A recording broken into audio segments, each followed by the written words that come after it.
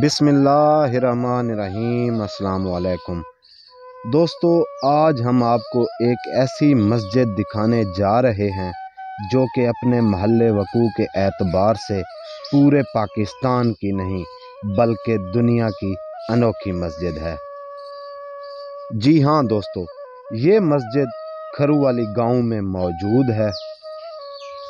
इसको खसूसी अहमियत इसलिए भी हासिल है क्योंकि आधी मस्जिद सूबा पंजाब में आती है और आधी मस्जिद सूबा खैबर पख्तूनख्वा में।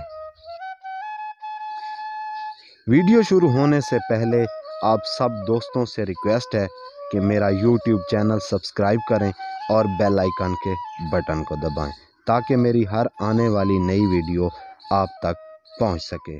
शुक्रिया। मस्जिद गुलजार मदीना, सूबा खैबर पख्तूनख्वा और सूबा पंजाब के एक मुश्तरक सरहदी गाँव खरूवाली के एन वस्त में वाक़ है। जहाँ दोनों सूबों की सरहदें मिलती हैं, चुनाचे ये गाँव ज़िला डेरा इसमाइल ख़ान और ज़िला बखर की हदूद में आता है।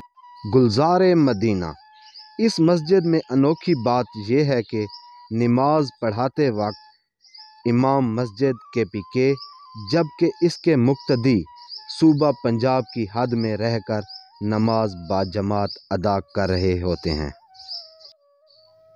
खरू वाली गाँव, आधा पंजाब, जबकि आधा खैबर पख्तूनख्वा में आता है।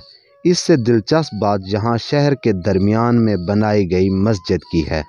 मस्जिद गुलजार मदीना, जो आदि मस्जिद पंजाब जबकि आदि मस्जिद सूबा खैबर पख्तूनख्वा में आती है। इस गाँव की आबादी 2000 अफराद पर मुश्तमिल है, जो कि आधी आबादी सूबा खैबर पख्तूनख्वा के ज़िला डेरा इसमाइल ख़ान में आती है और आधी आबादी सूबा पंजाब के ज़िला बखर में आती है। सुनने में आया है कि इस मस्जिद का महराब के पी के की हदूद में आता है। ये मस्जिद तकरीबन सौ साल पुरानी बताई जाती है। कुछ अफराद का ये भी कहना था कि ये मस्जिद पंजाब में आती है, लेकिन अक्सर अफराद का मानना है कि आधी मस्जिद सूबा खैबर पख्तूनख्वा, जबकि आधी मस्जिद सूबा पंजाब में आती है, जो कि अहले इलाका में काफ़ी मशहूर है। बेहतरीन अंदाज से बनाई गई आलिशान मस्जिद अपनी मिसाल आप है यहाँ रोज़ाना की बुनियाद पर सैकड़ों लोग नमाज़ पंजगाना अदा करने आते हैं।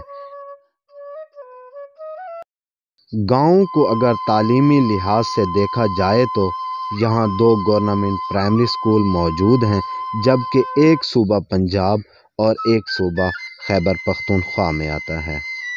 खरू वाली गाँव में अगर सियासी पहलू पर एक नज़र डाली जाए तो मलिक हफीज़ुल्लाह का नाम सर फहरिस्त आता है, जो कि पूरे इलाका और ख़ास तौर पर नौजवानों के लिए बहुत बड़ा असासा है।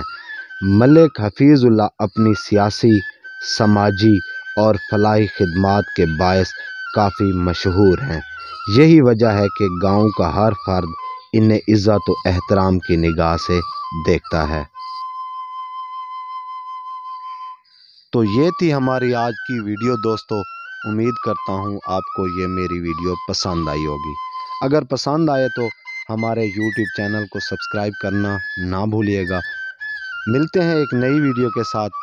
तब तक के लिए इजाज़त दीजिए। अल्लाह हाफिज़।